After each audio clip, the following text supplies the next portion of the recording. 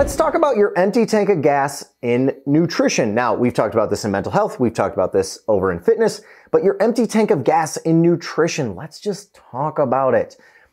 For this analogy, I really like it simply because if we always push ourselves to E, if that if that gas tank is always on E and we're always pushing ourselves there, man, it gets real easy to just fill it all the way back up and then do the same thing again, then all the way back up, then do the same thing. Yeah, that's your diet. That is the one time where it's more appropriate to say diet, because again, we live lifestyles, the bucking fit life. But I eat really, really, really, really, really, really good and no.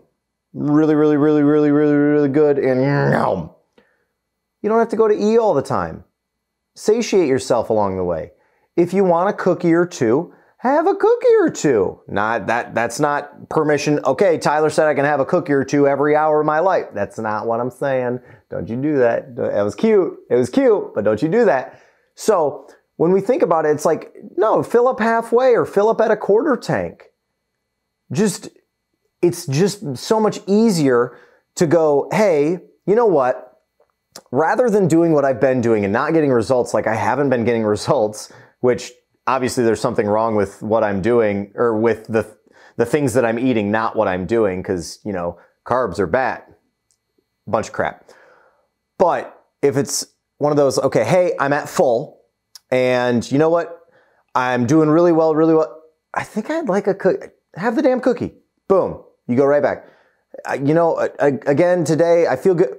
Oh, have a cookie, and have a cookie, have a cookie it can just reset that satiation meter that where you're you're not restricting yourself. You're just having less. Try to think of it as, you know what? I'm going to honor my cravings without destroying my car. If you if you got one flat tire, right? Um, this is from uh, I've I got this analogy from because uh, give credit where credit's due from Sohee Fit. Uh, she is a phenomenal coach um, on the on the interwebs. Um, if you got a flat tire, why would you then go and slash the other three tires on your car? Why would you do that? Well, if you had three cookies, why would you then go and have six, nine, twelve of them? Doesn't make sense. Don't destroy your vehicle. Okay?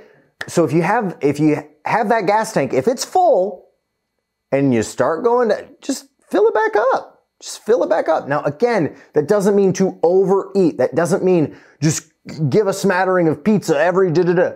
But rather than, hey, I'm going to do really good during the week and then pitch it off a cliff on the weekend, stop doing that to yourself. Stop doing that. You're probably not going to get those results that you keep not getting because you're doing that. So just, hey, you know what? Uh, instead of pizza this weekend, what if, you know what, let's order a pizza on Sunday night We'll have a slice or two. And then guess what? I got pizza for dinner one day. I got it lunch the next day. I got it dinner the following night. I got a cold pizza for breakfast. Anybody? It's delicious. If you haven't done it, please do it. Cold pizza in the morning. Uh. But then you're spacing it out. It's meal planning. You're literally meal prepping with pizza. That's awesome. So rather than having two uh, a whole pizza by yourself or half of a pizza in one day and feeling like crap the next day and then doing it again the following week, just one.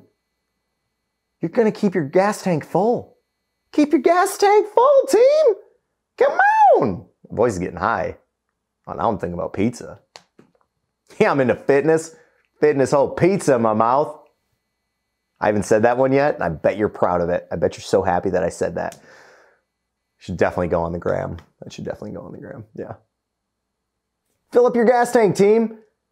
It's not the end of the world if you have a cookie. It's not the end of the world if you have a piece of pizza.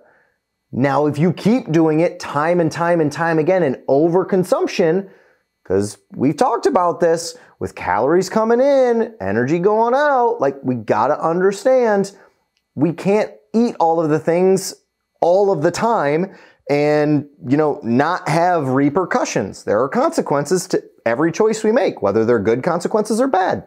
We don't get to choose. Consequences are just consequences. So have a piece of pizza. and then move on. Then, you know, go have your your salad or your chicken sandwich or your uh, breakfast burrito with without the sour cream this time and maybe a little drizzling of of dressing or, or olive oil. I, am sorry. Now I'm I'm just going back. I'm just mixing my foods up. Uh, have your breakfast burrito with a little bit of salsa and a touch of cheese on it rather than, you know, a bunch of sour cream and a bunch of uh, fatty bacon and things like that. Just manage it.